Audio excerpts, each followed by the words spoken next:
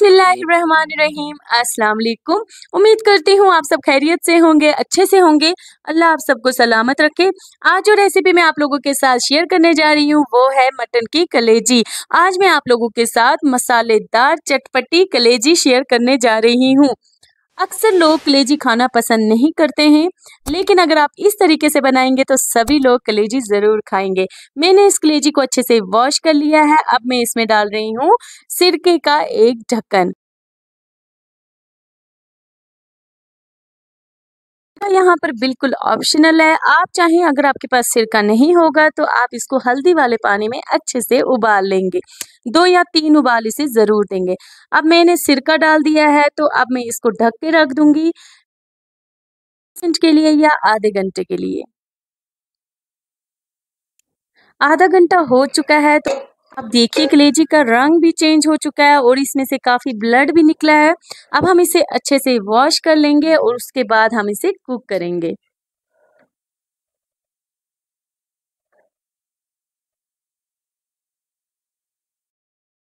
अब मैंने एक कढ़ाई को गैस चूल्हे पे रख लिया है और इसमें ऑयल भी डाल दिया है। ऑयल हमारा गर्म होने तक हम वेट करेंगे।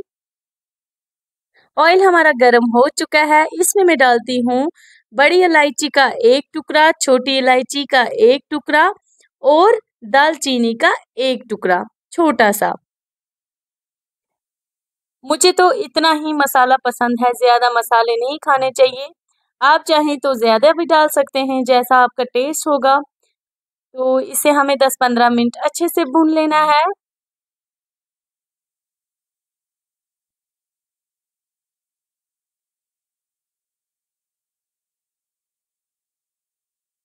अब मैं इसमें ऐड करूँगी प्याज। प्याज मैंने दो लिए हैं, छोटे साइज़ के लेकिन। आप चाहें तो एक बड़ा प्याज ले सकते हैं। अब मैं इसे अच्छे से चलाऊँगी और प्याज को हम ब्राउन करेंगे। ज़्यादा ब्राउन नहीं करना है क्रिस्पी ब्राउन बिल्कुल भी नहीं करना है हमें प्याज को। बल्कि हमें प्याज को थोड़ा थोड़ा ब्राउन करना है और फिर इसे हमें अच्छे से गालना है।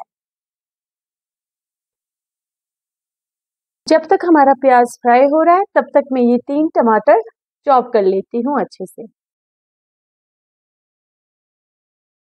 प्याज हमारे ब्राउन हो चुके हैं। अब मैं इसमें डालती हूँ चॉप किए हुए टमाटर। अब हमें इसे अच्छे से मिक्स करना है।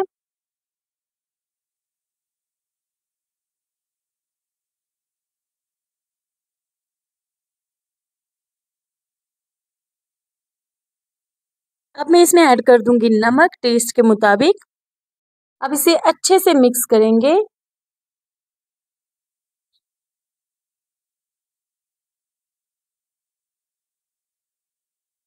अब मैं इसमें ऐड कर दूँगी जिंजर गार्लिक पेस्ट मेरे पास पेस्ट था तो मैंने पेस्ट डाला। आप चाहें तो साबुत को भी कूट सकते हैं। साबुत, अदरक, लहसुन को भी आप कूट सकते हैं। अब मैं इसे अच्छे से मिक्स कर लूँगी।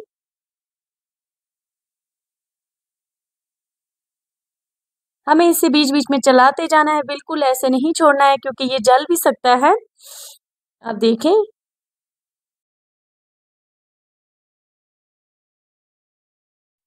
ये देखें, टमाटरों ने तेल छोड़ना शुरू कर दिया है।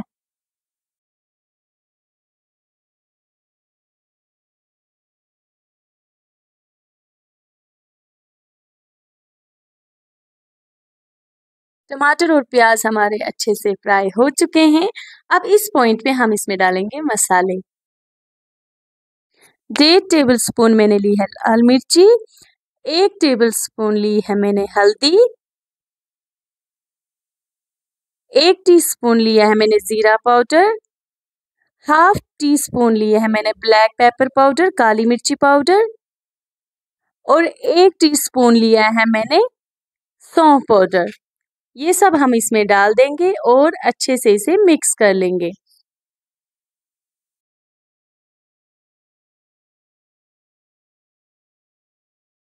मसाले को हमें अच्छे से भुनना है।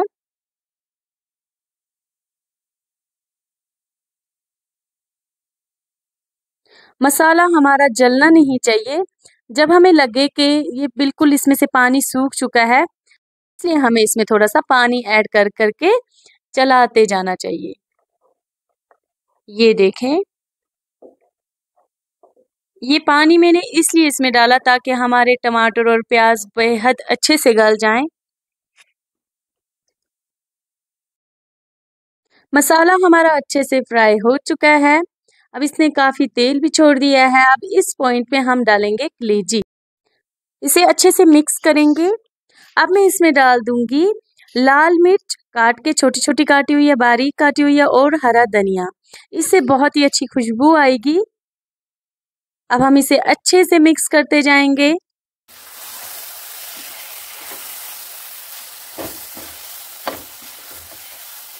कलेजी अच्छे से फ्राई हो गई है मसाले के साथ। अब हमें इसे जलाना नहीं है, बल्कि इसमें पानी डालना है। पानी की मैं डाल रही हूँ दो छोटे कप, आप देखें। अब अच्छे से इसे मिक्स करना है और 20 मिनट तक इसे ढककर पकाना है अच्छे से, ताकि हमारी कलेजी भी गल जाए और ये जो ग्रेवी है, ये बिल्कुल कम हो जाए।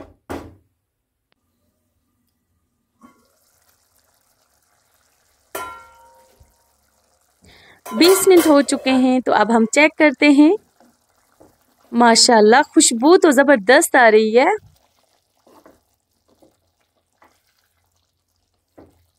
आप देखें, इसमें हमें ज़्यादा ग्रेवी नहीं रखनी होती है।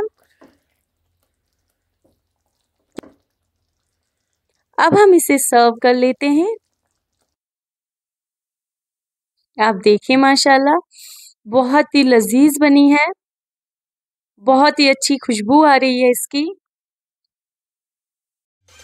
अगर आपको मेरी ये रेसिपी पसंद आए तो मेरे चैनल को लाइक कीजिएगा कमेंट कीजिएगा, और जो आज मेरे चैनल पे नया है तो प्लीज़ मेरे चैनल को सब्सक्राइब कीजिएगा। अब देखें।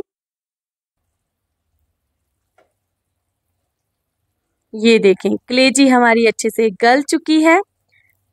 अंदर तक बहुत ही अच्छे से गल चुकी है।